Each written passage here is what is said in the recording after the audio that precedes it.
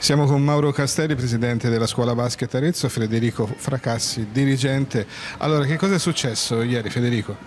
Ma dunque è stato un fatto mh, ovviamente inusuale, eh, purtroppo abbiamo avuto un ragazzo che durante l'amichevole la, della nostra squadra del 19 si è sentito male.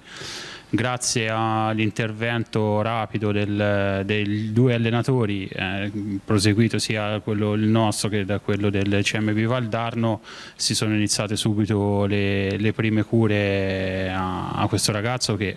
ovviamente apparentemente eh, era fermo sul, in terra senza, senza, nessun tipo di, di forze, di, di reazioni poi ovviamente siamo intervenuti anche con il, con il defibrillatore, il nostro allenatore ha preso la situazione sotto controllo e ha proseguito le cure. Fortunatamente è andato tutto bene, è arrivata l'ambulanza, il ragazzo è andato poi in ospedale, però ecco, Mm, è stata una, una situazione dove eh, chi era lì presente in quel momento è stato su, super freddo e ha svolto tutto quello che noi eh, ci prepariamo nei corsi. Un malore improvviso, un 17enne poteva essere fatale, un atleta. Mauro, voi puntate molto alla sicurezza e anche alla tutela della salute perché so che fate diversi corsi. Sì, noi mh, mm, da tanti anni ormai cominciamo a preparare diciamo, con i primi corsi e poi tut, tutti gli anni eh, ci sono gli aggiornamenti eh, proprio per evitare eh, queste, queste, problematiche. Lo facciamo sia eh, obblighiamo, diciamo così, obblighiamo gli allenatori ad questa, quest, a fare questo corso eh, e ehm, anche qualche genitore accompagnatore che ci dà una mano perché questo noi credo negli ultimi dieci anni eh, otto anni abbiamo formato più di 100 persone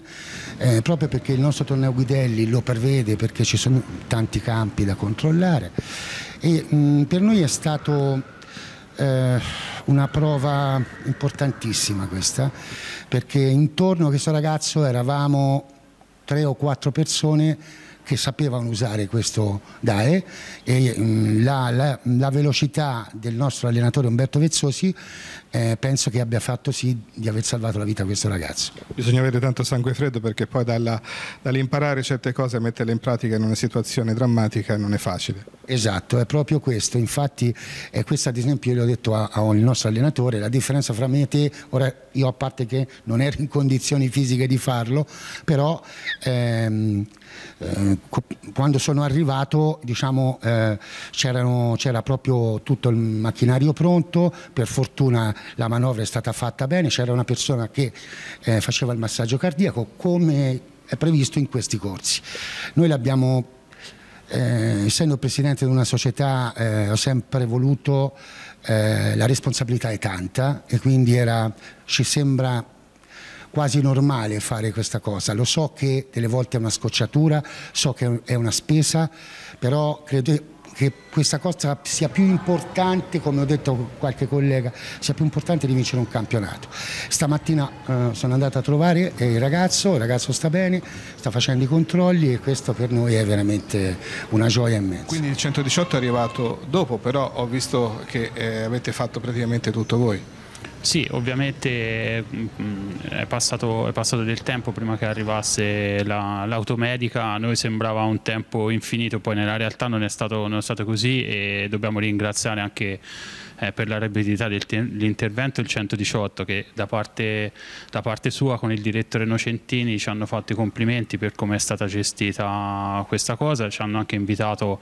a visitare la loro centrale anche per capire ancora da più vicino il ruolo che è stato fondamentale anche nel nostro caso della persona che ha risposto al, al, al telefono della nostra chiamata perché ovviamente i tempi in queste situazioni sono fondamentali e quindi è andato tutto bene per tutta una serie. Noi siamo stati bravi e freddi e insomma il 118 ha funzionato alla perfezione perché eh, bisogna dire è andato tutto bene.